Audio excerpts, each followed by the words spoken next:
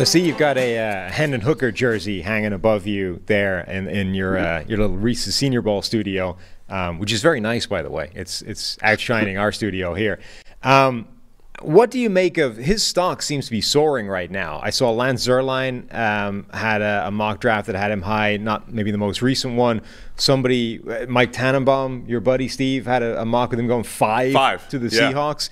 Like his stock seems to be going through the roof. And we've talked before in this podcast about just the difficulty projecting play from that kind of offense, that kind of extreme collegey type of offense to the NFL where the asks are just so different, right? So it's not that we don't it's not that we know definitively that he can't do X, Y, and Z. It's that it's there's a huge question mark there relative to some of these other guys. So how do you project guys like that from that offense? And how important is things like you know the senior bowl experience where practice and the environment is different you get to see them you know exposed to the sort of to more x's and o's to, to just different things yeah i'll try not to be too long-winded on this one but there's a lot to lot to dig into with that with that question I'll, I'll say this for hendon's sake i hope he's rising man i really do um, he, he's an awesome young man uh, i had a chance to be around him a little bit last summer at the manning camp then went up to knoxville in august and, and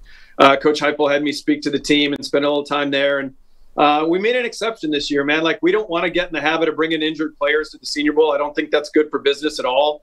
Um, but Hendon to me was a special case. He was he earned it. You know, he, he was kind of one of the faces of college football this year. He, he was playing great. Would have been in New York for the Heisman had he not had the ACL. Um, and then the quarterback position itself, I just think lends itself more to the interview process and in the in the meeting room time. I think he, I thought he really could have helped himself there. Um, so I hope he is. You know, you look back at last year and and man, there was you know everyone's got like mock draft you know 47.0s by the time we get to the draft, but there was a you know, pretty notable um, draft prognosticator last year that came out with his last possible mock draft had uh, had Malik Willis going number two to the Detroit Lions, and and he ended up going in the third round. So we don't know. We don't know. I I hope for Hendon. Um, I will say this, yeah, it, it, it is a bit of a, a, difficult projection from that offense, and I'll carry that over even to like Jalin Hyatt. Um, you know, we're trying to circle the wagons here internally and watch some of these, you know, juniors that are being ranked really high. He's a tough eval, man. I mean, yeah. you, you don't get to see him do a lot of NFL carryover stuff. So um, to me, the benefit of Senior Bowl week, and, and not specifically to Tennessee, but to a lot of these players, is that they're asked to do something here that maybe they weren't asked to do in college, right?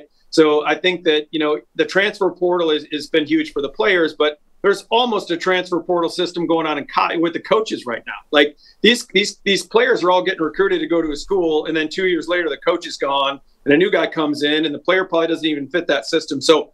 Um, you know, a, an example I, I, like to use is Jalen Pitre last year from Baylor, the safety.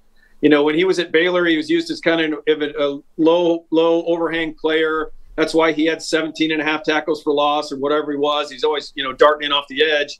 And then he comes to Senior Bowl week and he's playing from depth. He's playing off the hash. You see him in man coverage. So it really helps clean up that, that evaluation.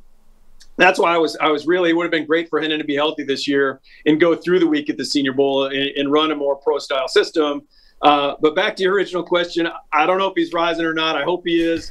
Um, I do think it makes sense for teams to trade up for a quarterback and get that fifth year uh, when I was with the Seahawks, we were on the clock, and and uh, John Schneider made a trade with with the Vikings, and they moved back in and took Teddy Bridgewater, and we got out of the first round that year, and to get that fifth year for Teddy. So um, again, I hope it happens for Hendon. That'd be awesome. Yeah, a couple of the stats that we've used uh, to describe Hendon Hooker and Jalin Hyatt here. Uh, Hendon Hooker, because we track everything here, um, 15 times he's had to get to his second read. He actually started on one side of the field and then worked to the other side of the field. The offense simply doesn't. It, it doesn't mean he can't do it. This, the offense right. simply doesn't ask you to do it. And the offense does such a good job of creating the one on ones on the front side, you throw the one on one, right? And then Jalin Hyatt's the beneficiary of those one on ones. He's faced press coverage about 67 times. I think was the number, where most other corner uh, receivers are over 200 in their career. So it's just things that you're gonna see at the NFL level that you haven't seen in, in college, and it's it, it does make for the projections really difficult.